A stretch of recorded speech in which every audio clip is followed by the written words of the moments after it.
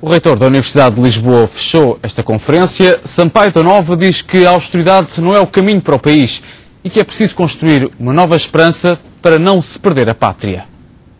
Vivemos a estranha sensação de que todas as palavras já foram ditas. Estamos cansados, exaustos. Custa-nos aceitar que tudo acabe numa parede impenetrável, que nada ouve, que nada sente e que se limita a repetir: não há alternativa, não há alternativa. Mas hoje sabemos, de ciência certa e segura, que a austeridade é que não é mesmo alternativa. Isso sim é certo e seguro.